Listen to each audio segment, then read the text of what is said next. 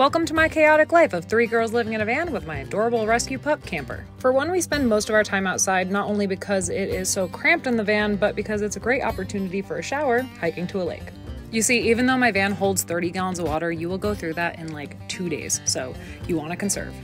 Now, cooking and sleeping arrangements. Only two people are usually on cooking duty, or will eat out. And when it comes to sleeping, it's actually more fun to have a movie night, but one person does need to sleep on the mattress on the floor.